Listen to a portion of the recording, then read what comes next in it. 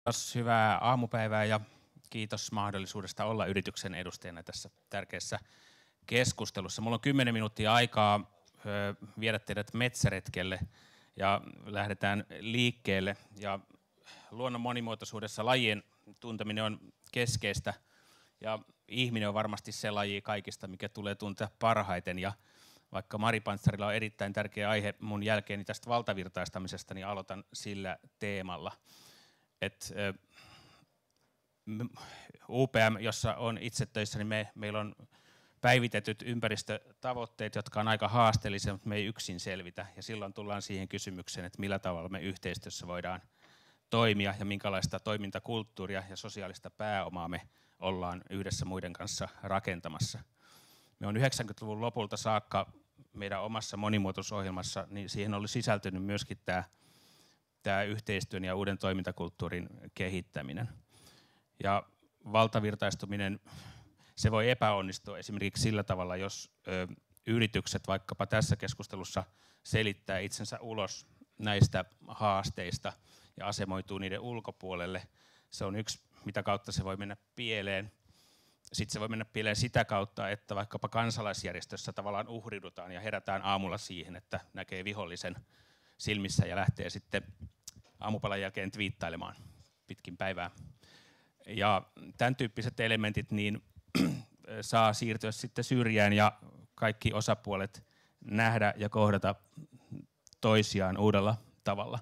Maakunnissa on erittäin hyvä valmius sellaiseen toimintaan, mikä ei ole vielä ihan valtavirtaistunut, mutta että taustoista huolimatta niin vapaapalokunnat ja, ja kylätoimikunnat ja metsänomistajat on valmiita osallistumaan paloympäristöjen luomiseen ja, ja ennallistamiseen ja, ja tekopesien rakentamiseen ja niin edelleen.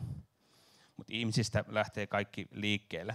Sitten on tietysti, että jos haetaan systeemitason muutosta, mistä Janne aloitti, joka on niin iso siirto, ja puhutaan valtavirtaistumisesta, niin ehkä siinä on sellainen ö, haastepinta, sit, että mitä sillä systeemitason muutoksella tarkoitetaan tai miten se koetaan, kun samalla valtavirtaistetaan tätä muutosta. Luonnon itseisarvo on hyvin tärkeä, viisas ja kaunis syy ja perusta pitää luonnosta huolta, mutta tässä nykyisessä talousjärjestelmässä tarvitaan myöskin näitä ehkä kylmempiä, mutta todellisia syitä. Ja me on haluttu korostaa luonnon monimuotoisuuden merkitystä myöskin niin biotalouden ja biotalouden kehittämisen näkökulmasta, missä biodiversiteetti, luonnon elon kirjo asemoituu perustaksi ja sokkeliksi sille, mitä tänään tehdään ja erityisesti huomenna tehdään. Ja se ei tarkoita sitä, että me jokaisesta kovakuoreisesta keksitään, että sitä vihreää verta puristetaan deodorantiksi tulevaisuudessa, mutta että se potentiaali on siellä olemassa. Ja, ja sen takia sitä pitää pitää huolta, että se on tulevaisuuden perusta nykyisessä talousjärjestelmässä on puhuttu ilmastosta ja miten biodiversiteetti voidaan liittää siihen kylkeen. Ja mä esityksessäni liitän siihen myöskin muistutuksen siitä, että fossiiliset raaka-aineet pitää korvata jollakin. Ja mun työnantajani uskoo hyvin vahvasti, että puu on siinä keskeisessä roolissa. Ja sen lisäksi siihen liittyy myöskin sitten jo mainitut vesikysymykset, osin maaperäkysymykset, jotka painottuu tietyissä maantieteissä ja sitten tämä sosiaalinen puoli, ihmiset, missä ekosysteemipalveluiden näkökulmasta se sosiaalinen vastuu on sitä viisautta, miten ekosysteemipalvelut jaetaan taloudellisen toimijan ja muiden ihmisten kesken. Tässä kuvassa muistutetaan UPMn kahta tapaa tuottaa puuta, eli suomalainen meille jääkauden jälkeen levinneet puulait on meidän teollisia puulajeja, kun sitten taas Uruguayssa meillä on australialainen eukalyptuspuusuku käytössä ja nämä on istutettu karjalaitumille lihantuotantoalueille niin, että se karjanlaidunnus edelleen siellä mahdollistuu. Tämä on tämmöinen case-tutkimus sellaisesta näkymästä, miten me on nähty, että mihin suuntaan tätä kokonaisvaltaista maankäyttöä voitaisiin lähteä viemään sekä suunnittelussa että tavoiteasetannassa me on lähdetty siitä ilmastosta liikkeelle. Tässä on nyt se puu mukana, joka korvaa fossiilisen, ja sen lisäksi tässä on se ruoka mukana. Tässä on yksi meidän metsäpalstoista Etelä-Suomessa, missä Itä-Suomen yliopistosta Holopaisen Tuomo teki gradunsa tästä aiheesta, missä laskettiin tälle metsäalueelle nämä ekosysteemipalveluluvut alueella, mikä on ollut toista sataa vuotta aika intensiivisen metsätalouden kourissa. Se kysymys, miten käyttää maata ja löytää siihen oikea vastaus, niin sitä tässä haetaan. Näihin numeroihin pitää suhtautua tietysti varauksellisesti, koska siellä on mallinnusta mukana. Siinä vasemmalla muun muassa mallinnetaan tulevaisuuteen koko vuosisadan loppuun saakka lahopuumääräkehitys sekä tiettyjä biodiversiteetti-indeksiä käyttäen monimuotoisuuskehitys niillä toimenpiteillä, jotka me on otettu käyttöön, missä tavoitteena on monipuolistaa puulajisuhteita monokulttuurien sijaan, lisätä lahopuuta ja lahopuudiversiteettiä ja monipuolistaa metsien rakennetta samalla kun on suojeltu tämmöiset biodiversiteetti, hotspotit ja muut tärkeät alueet. kun yhdistää näitä aikaisempia kommenttipuheenvuoroja, niin tämmöinen yhteistuotantomalli voisi olla tervetullut muuallekin kuin metsäsektorille ohjaamaan biodiversiteetin lisäksi kaikkia keskeisiä ekosysteemipalveluvaikutuksia kunnille ja kaupungeille ja muille, muille toimijoille.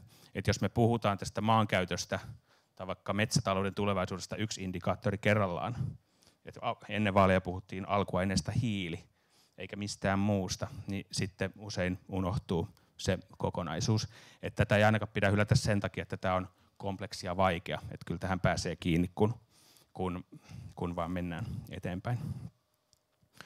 Tässä on myöskin laskettu sitten hehtaarikohtaiset keskimääräiset hiilinieluvaikutukset samalla kun puuta tuotetaan. Ja tietysti työnantajani tehtaat nimenomaan käy sillä puulla, että se on tässä keskeisenä myöskin ympäristöargumenttina mukana muistaen, että se uusiutuvuus ei ole kestävyyden tai ja just sen takia tässä on näitä muita indikaattoreita tarkastelussa mukana. Tän, tällä ei osata sitä, että olemme saavuttaneet sen jonkun kestävän, ke, kestävän kehityksen tason, tai ettei tarvitsisi parantaa, vaan tämä on se näkökulma, mitä pidetään järkevänä, tämmöinen kokonaisvaltainen tarkastelu myöskin kansainvälisessä metsä- ja maankäyttökeskustelussa, biotaloudessa – ja sitä, että nämä suuntaa antavat tarkastelut ja skenaariot tulevaisuuteen, joita ilman omasta mielestäni tätä metsäkeskustelua on aika köyhä käydä, koska tänä päivänä jätetyt säästöpuut eivät ilmennyt lajistollisena vasteena iltaan mennessä, että se kestää vuosikymmeniä. Me tarvitaan monessa mielessä tämä aikajännetarkastelu tähän mukaan keskusteluun. Öö, YK-kokouksessa marraskuussa Egyptissä tultiin ulos meidän uudella tavoitteella, jossa tavoitteeksi on asetettu, että 2030 mennessä meidän omissa metsissä Suomessa puolen miljoonaa hehtaari alueella, missä kehitetään parhaita käytäntöjä, niin monimuotoisuus kääntyy, kääntyy nousuun ja, ja tämä kelkka, kelkka käännetään toiseen suuntaan.